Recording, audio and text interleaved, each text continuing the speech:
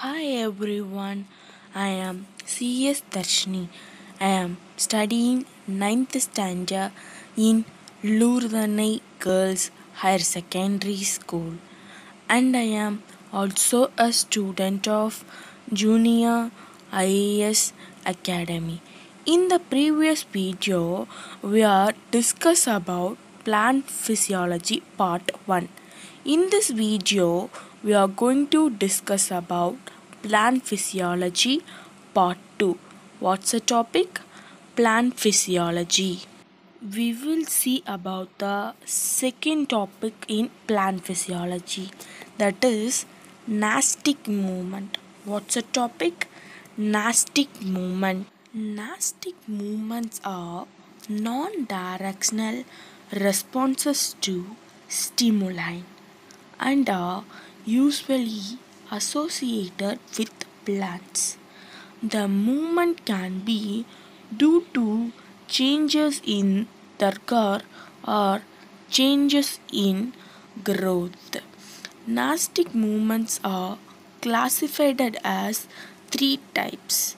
They are photonasty, thigmonasty, thermonasty. First, we will know about the what is a photonasty. Movement of a part of a plant in response to light. Example of photonasty is Taraxacum officinale. Blooms in morning and closes in evening.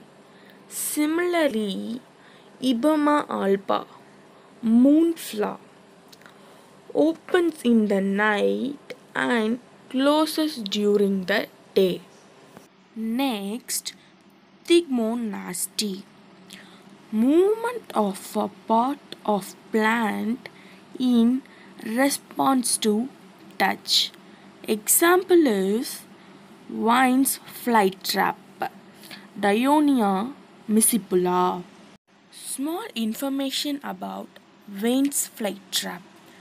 A small carnivorous bug plant with hinged leaves that spring shout on and digest insect with land on them.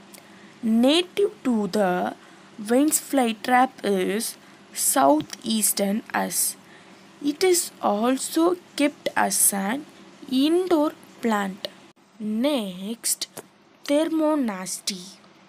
Movement of a part of a plant is associated with change in temperature.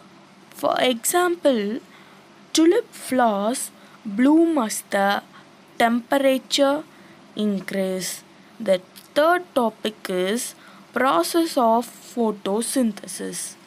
Photosynthesis is a process used by plants and other organisms to convert light energy into chemical energy that through cellular respiration can later be released to fuel the organism metabolic activity. The overall equation of photosynthesis is carbon dioxide plus water plus solar energy plus glucose and plus oxygen.